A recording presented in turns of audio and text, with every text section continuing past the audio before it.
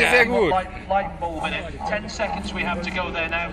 That light bulb will flash on and we will be underway hopefully this time. Let's hope we will. The light will go on about now. And finally we're away. Tim gets that rear wheel spinning up on the number three outfit. Number six is next there. Conrad Harrison, like a lot. Let's wait for the 60 watts to go. Could be 100 watts. In, this day and age, you think you'd have an energy saving light bulb in there. It'd take about five minutes to get to get some light out of it, wouldn't it? Number seven is next. Tony Elmer, Darren Marshall, they're away on their Ireson machine. You notice the difference between the first.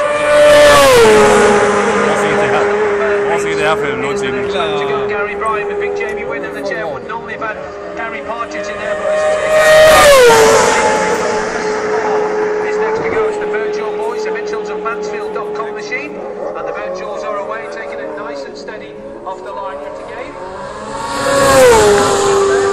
Number nine is next to go. My word, that sounds fine. Roy Hanks and Dave Wells. Big, big teacher's right all over the back of Roy there. In that little handhold there now. Number 10, Dougie Wright. And Martin Hull. Martin's a big lad as well, really. Number 16,